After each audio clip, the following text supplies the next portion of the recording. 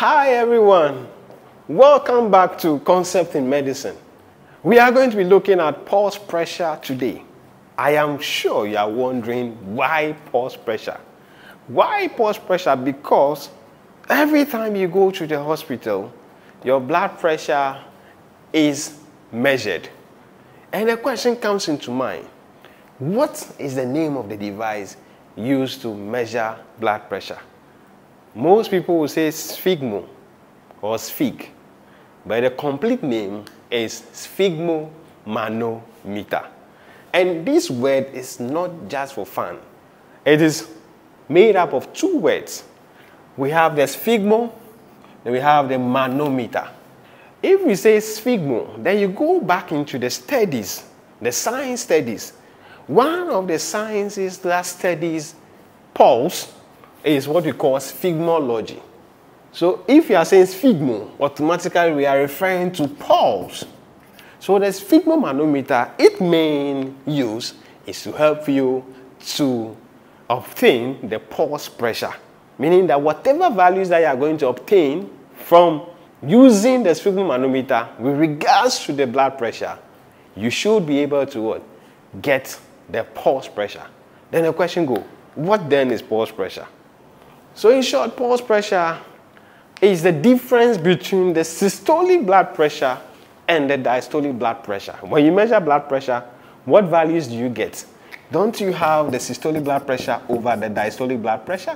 So if you have these two values, then it means you can also obtain the pulse pressure by subtracting the diastolic blood pressure from the systolic blood pressure. And that should give you the pulse pressure. Now, let's talk about the normal values of the pulse pressure. For the normal value of the pulse pressure, first of all, you should know the normal blood pressure. Anytime we are asked about the normal blood pressure, we normally say that, this is what we say every time.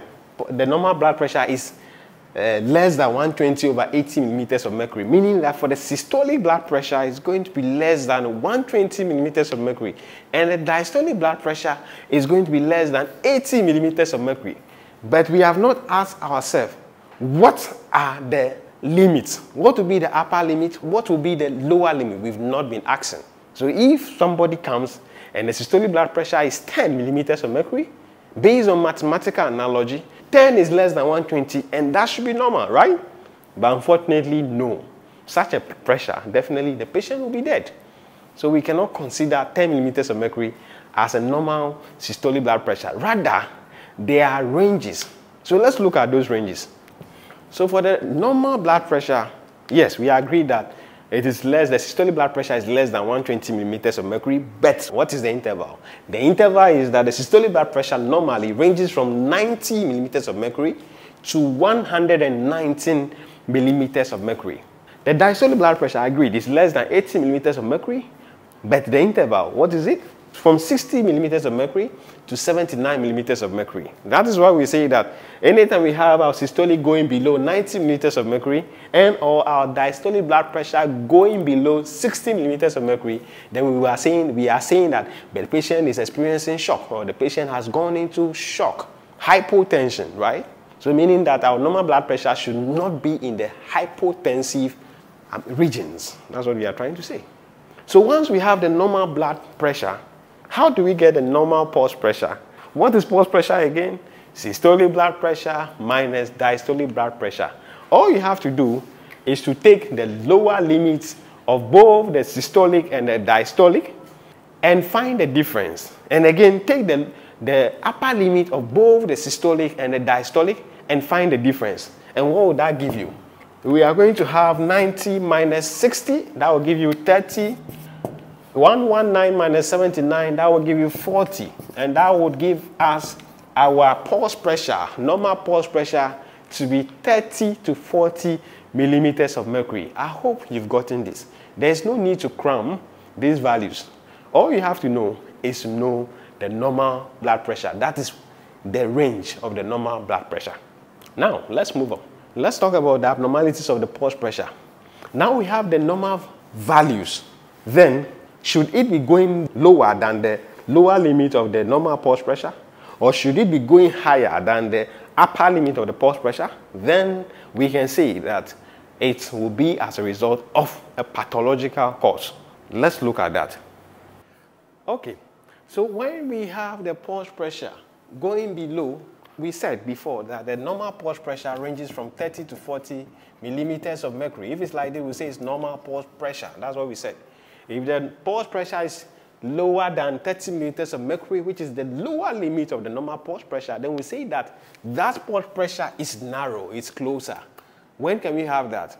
We can have that when the systolic blood pressure is decreasing and the diastolic blood pressure is still at the same place, or the systolic blood pressure is constant and the diastolic blood pressure is increasing. That will give us that. Or the systolic blood pressure is decreasing whilst the diastolic blood pressure is increasing. So those are the three scenarios that can give you narrow pulse pressure. And for the causes, there is an acronym that I have developed to help you know all the causes. And that acronym is HEARTCAP. Maybe in the comment section, you can also write or comment your derived acronym for the causes. That will be very interesting, and I'll be waiting for your own acronyms in the comment section. So for the causes of a narrow pulse pressure, remember to use the acronym HEARTCAP. What does it mean? The H stands for hypovolemia. The A would go for aortic stenosis, which is considered one of the most common cause of a narrow pulse pressure. Wherever you see narrow pulse pressure, think of aortic stenosis first. Then the next one, that's tachycardia. Then again, we can also think of the constrictive pericarditis, ascites, and finally, pericardial effusion. I'll be waiting to see your own acronym in the comment section. For the causes of wide pulse pressure, when do we say the pulse pressure is wide? It is when the pulse pressure is greater than 40 millimeters of mercury, which is the upper limit of the normal pulse pressure. And what are the causes? For the causes, we can use part B C. P A to the power 5 T B E S S I.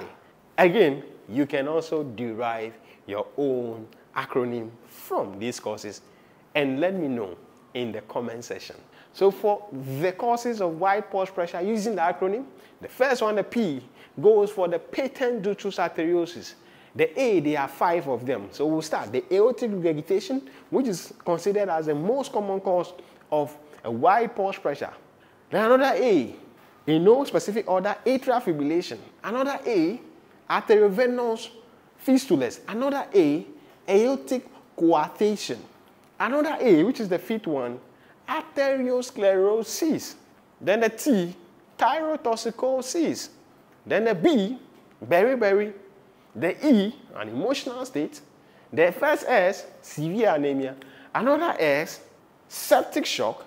And the I, isolated systolic hypertension. I hope that sounded interesting to you. And I'll be waiting for your own acronym in the comment section box. Thank you very much. And please subscribe, share, like, and leave a comment in the comment section about what you would like to see in my next video. And also don't forget, I'll be looking forward to seeing your various acronym for the causes of the narrow and wide pulse pressure. This is concept in medicine. It's a bye for now.